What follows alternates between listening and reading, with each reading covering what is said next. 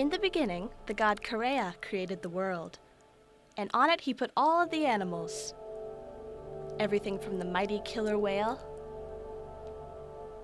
to the magnificent thunderbird, and even the humble frog. Now, the last creature he created was called the man, and to the man he gave a very special task. The man would rank all of the other animals of the world by making a set of bows of different lengths. The longest bow would go to the strongest animal, and the shortest one would go to the weakest. Kareya and the man gathered all of the animals together to tell them the news, and to tell them to arrive the next morning to receive their bows and to receive their ranks. But one of these animals, the coyote, was especially clever, and he began to hatch a plan.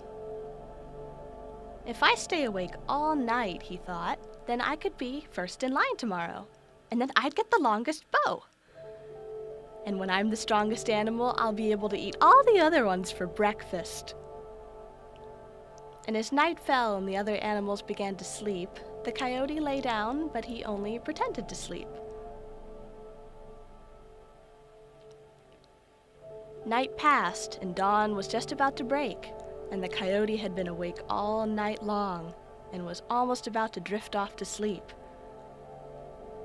So he got up and he ran around the world four times to try and get himself awake. But that made him even more tired than before, and he collapsed in a deep slumber.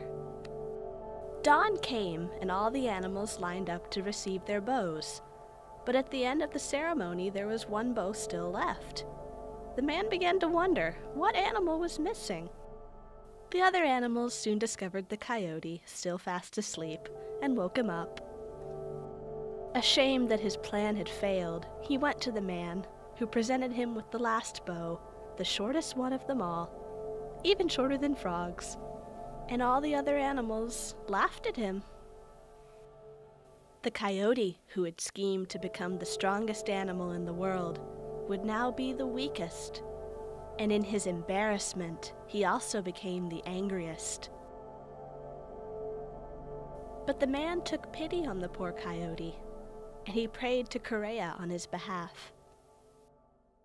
Kareya listened, and he presented the coyote with a special gift the gift of cunning.